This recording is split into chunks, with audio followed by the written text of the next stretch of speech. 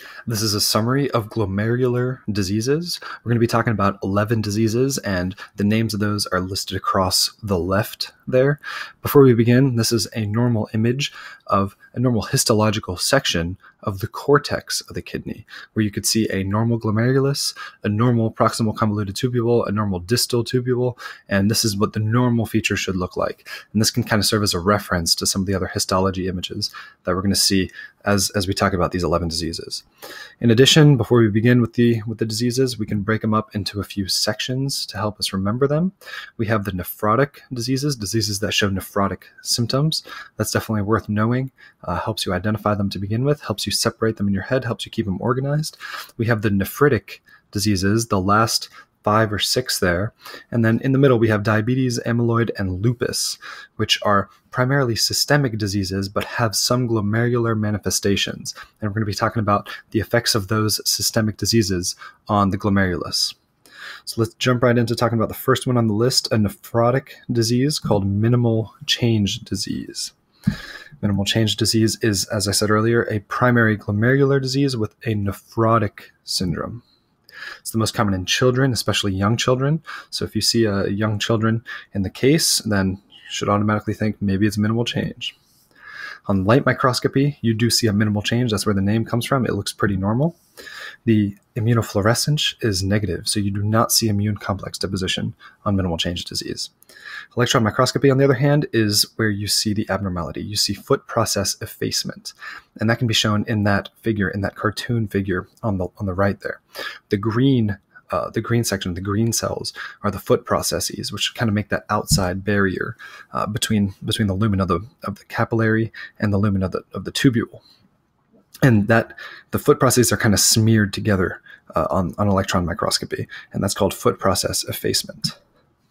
Some secondary causes of minimal changes. Well, first of all, the, the primary cause of minimal change disease is idiopathic. Some secondary causes of minimal change disease include cancer, infection, uh, an, an atopic state, and some drugs and it's in general associated with lymphoma uh, cancer, um, which which would be a secondary cause, and the use of NSAIDs.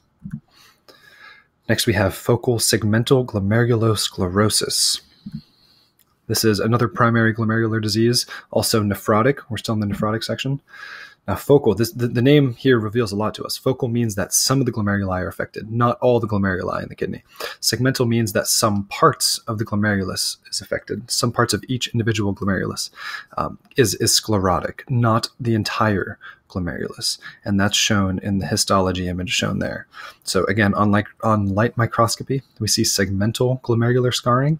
We see some hyaline material, which are essentially deposits from the plasma. On immunofluorescence, we do see positive, it does light up for immunoglobulins and complement in a granular appearance.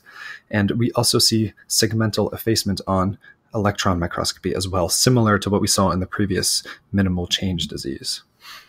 Again, primary FSGS is idiopathic. We do have some secondary causes here. Could be genetic, could be related to infections, particularly HIV, could be related to drugs like heroin, sickle cell, and obesity. And this disease is most common in blacks. Next, we have membranous glomerulonephritis. This is another nephrotic disease. It's primarily a glomerular disease on light microscopy, we see what the name implies capillary wall thickening. It's membranous. You see thickening of the membranes. This is due to IgG and C3 immune complex that has deposited in these membranes. On immunofluorescence, it's positive, as, as we stated earlier, for IgG and C3 in the capillary, and it's a granular pattern. And EM is where we really see how this IgG and C3 deposits. On EM, we see immune complexes in the subepithelial space. So this is right below the the podocytes, right below the podocytes, and you can kind of see that image, uh, that image at the bottom right there, we see subepithelial deposits. Those black dots are subepithelial. And as the disease gets worse, those deposits get bigger. Primary cause of this is the production of an antibody against a protein in the podocytes. That protein is called antiphospholipase A2 receptor. So when the body makes antibodies against that, that antibody is going to collect in the subepithelial space and, uh, and, and, and appear on electron microscopy. We have some secondary causes for membranous glomerulonephritis. That includes cancer, lupus, NSAIDs, HBV, hepatitis B, syphilis, and uh, going along with these secondary causes, the antigen can be hepatitis B or cancer. Next, we have diabetic nephropathy. Di- diabetes is, of course, a systemic disease. Um, this is the secondary nephropathy, secondary to systemic diabetes, and uh, it's also presenting with nephrotic syndrome. This can be caused by diabetes mellitus types 1 and 2, and it's essentially the, the pathogenesis is the accumulation of glycosylated proteins in the glomerular basement membrane and the mesangium. So, having high blood sugar levels causes plasma proteins to be glycosylated. It kind of makes them sticky. You can think of these sticky proteins sticking to the GBM and the mesangium, which causes them to accumulate in those areas. On light microscopy, you're going to see mesangial expansion to the point of having KW nodules, and that's pretty obvious in that image to the right there. And on immunofluorescence, you're going to have linear staining of IgG as opposed to granular staining. So there's pretty good distribution of the accumulated glycosylated proteins in the glomerular basement membrane. So it does show a linear stain. And on electric and on electron microscopy, the GBM is going to appear thickened because of those plasma proteins accumulating there as well. Treatment for diabetic nephropathy is to reduce blood sugar, to reduce blood pressure, and to avoid nephrotoxins. And this is uh, by far the most common cause for end stage renal disease in the United States. Next, we have another systemic disease, amyloid nephropathy. Again, this causes a secondary nephropathy with nephrotic syndrome. It's caused by the accumulation of polypeptides. Two big polypeptides cause nephropathy of the amyloid variety, especially AL amyloid and AA amyloid. On light microscopy, we're going to see thickening in the mesangium again. We're going to find a bunch of amorphous pink pale material in the glomerulus.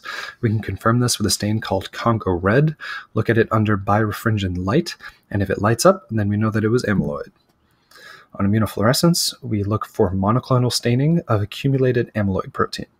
So, a lot of times when you stain for kappa and lambda light chains, you see them both uh, light up at the same time. In this case, we have monoclonal staining. So, you, it's possible to, to stain just for the kappa and have just kappa light up and have gamma not light up. So, it's that's a little different. Uh, that that helps you differentiate it from some of these other diseases. You have monoclonal staining. And on electron microscopy, you might actually be able to see these proteins as randomly arranged fibrils. And finally, amyloid nephropathy is associated with rheumatoid arthritis. That's specifically the amyloid A variety, and it's also uh, associated with multiple myeloma, and that's specifically the AL variety. Next, we have lupus nephritis. Lupus is ranked from 1 to 6, where 6 is the worst case of the disease.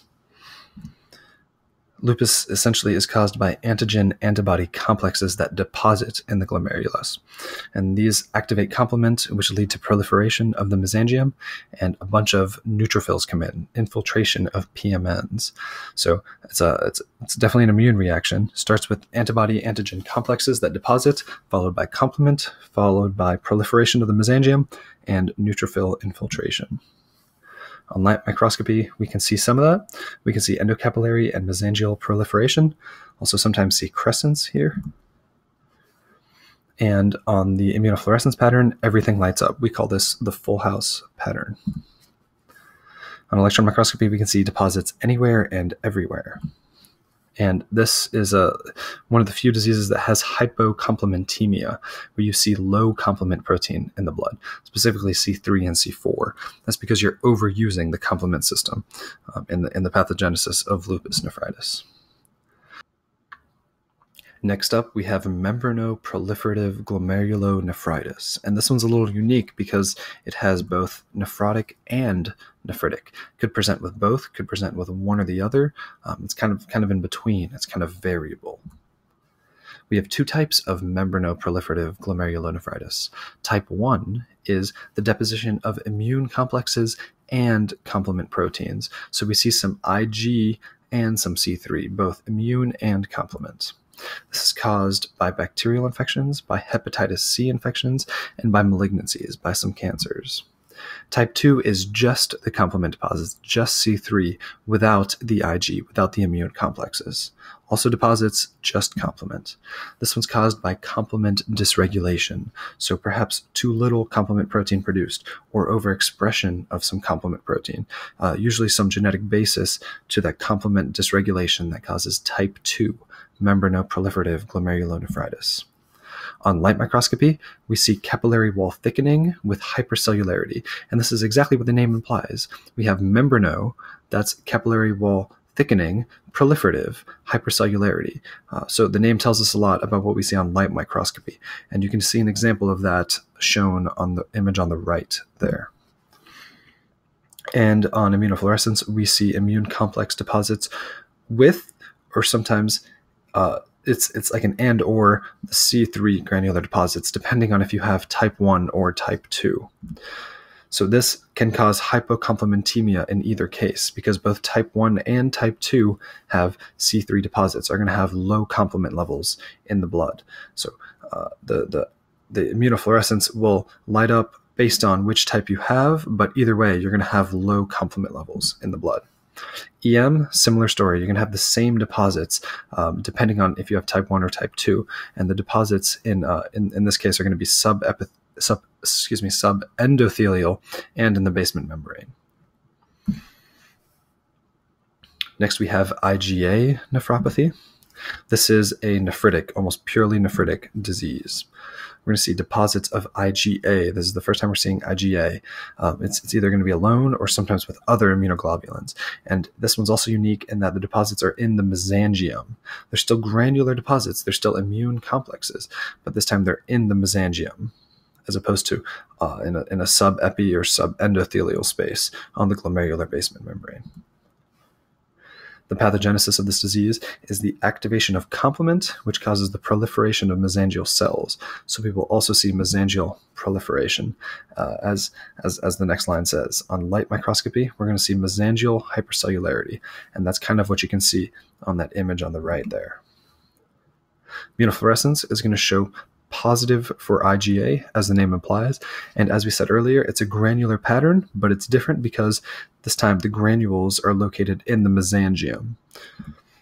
On electron microscopy, we're also going to see mesangial deposits. So you should really be associating this IgA nephropathy with mesangial deposits, mesangial hypercellularity, and mesangial granules. Primary IgA nephropathy is idiopathic, but IgA nephropathy can also be part of a systemic disease. Uh, that's called IgA vasculitis. Um, it's related to a type of purpura, an HS purpura. Next up, we have acute post-infectious glomerulonephritis. This is another nephritic disease.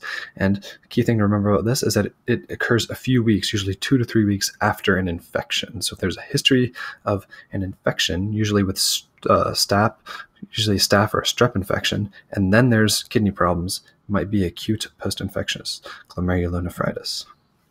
On light microscopy, you're going to see endocapillary and mesangial hypercellularity and neutrophils. I kind of associate the neutrophils uh, as being remnants of that previous infection. Helps me remember it, but you can see a bunch of neutrophils in the mesangium. On immunofluorescence, it's going to be positive for C3 in the capillary walls. Also granular staining, this time in the capillary walls again. On electron microscopy, you can see subepithelial humps. And this is somewhat similar to the subepithelial uh, granules that we saw in membranous glomerulonephritis, but in this case they're described as humps because they have a podocyte covering them up, and you can see that in that in that in that bottom cartoon there. And of course, because you're going to have depositions of C3 uh, in the subepithelial space, you're going to have hypocomplementemia. You're going to have low C3 levels in the blood. Treatment for this is just supportive. Steroids are usually not necessary. Um, usually has a pretty good prognosis. Next, we have anti-GBM disease, anti-glomerular basement membrane disease. It's also nephritic. It's caused by an autoantibody to the glomerular basement membrane. I think it's specifically collagen type 4 present in that membrane. Antibodies here recruit complement and lymphocytes, which damage the capillaries, uh, allows the capillaries to break open, and allows for proliferation and accumulation in Bowman's space. Uh, also allows for the presence or for, for the formation of crescents, which you can see in that image on the right there. Crescents are kind of proliferations in the Bowman's space around uh, where the glomeruli usually ends. So you kind of tracing it around there, definitely a crescent in that glomerulus. On light microscopy, as I, as I just pointed out, there's crescent formation. On immunofluorescence, you'll see it's, it lights up for IgG, and this is in a linear pattern. This is because the autoantibody is binding directly to the glomerular basement membrane. So you can really see the outlines of the capillaries pretty well here in a very linear pattern.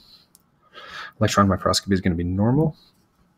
And it's important to know that this disease is called Goodpasture syndrome uh, when it involves both the kidney and the lungs. So when you have hematuria uh, and hemoptysis, it's it, one, one of the options that you should be considering is Goodpasture syndrome. Next up, we have ANCA glomerulonephritis. This is the last of the nephritic syndromes we're going to be talking about. This is another immune mediated process. This time it's against the neutrophils. So ANCA stands for anti-neutrophil cytoplasmic antibody. So this time the, the neutrophils are going to be uh, the excuse me the antibodies are going to be inside the cytoplasm. On light microscopy, you're going to see crescents and necrosis. So necrosis, sometimes you see like a little blood spilling in the middle of the glomeruli. Crescents, we already talked about. You're going to see the, the proliferation in that in that Bowman space, kind of outlining it there. It's like a crescent formation in this glomerulus. On immunofluorescence, this is going to be pauci-immune. There's there's either very little or or or nothing lights up. It's called pauci-immune. One way to remember this is that the antibodies that would normally light up are in this case cytoplasmic, so they're inside the cells, and you will not be seeing them light up on immunofluorescence. Electron microscopy here is normal and it's uh, it's there are a few kinds of ANCA glomerulonephritis. One of them that's worth knowing is GPA, granulomatosis with polyangiitis, also known as Wegener's disease. Another one is eosinophilic GPA, called Churg Strauss disease. This one's easily identified based on the presence of eosinophils, which are pretty characteristic on histology. And finally, there's microscopic polyangiitis, which I don't think has granulomatous formation. This is like the least severe of the ANCA glomerulonephritis. And that's all we have for these 11 diseases that affect the glomerulus. I hope this was helpful, and thank you for listening.